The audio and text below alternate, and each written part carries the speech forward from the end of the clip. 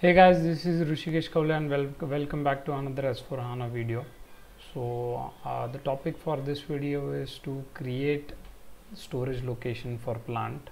Okay, so for this we'll be uh, going to SPRO T-code.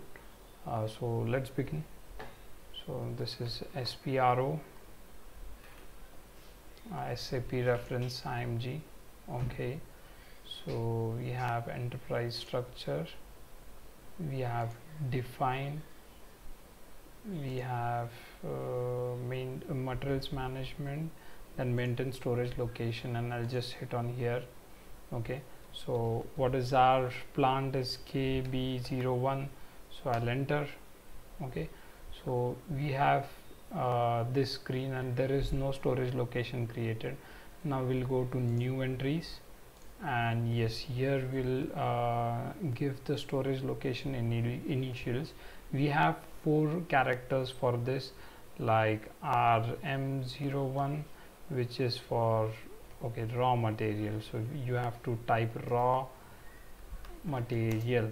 Uh, the thing you can see below is like uh, it was previously created on the screen. So we just get Uh, that because it is already created. When you are creating first time you will not get any drop down like this.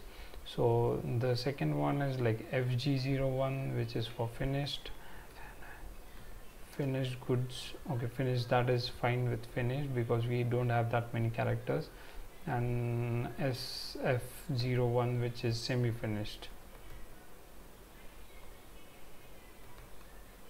semi finished goods. Okay so now that's it we can just save.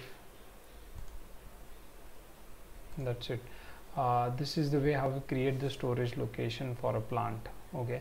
Uh, anything for uh, trainings SAP trainings S4 HANA trainings you can just connect with me like personal training online personal training industrial training or end user training. And yes don't forget to subscribe this channel. We have many more videos uh, with S4 HANA it will be very helpful for you. Thank you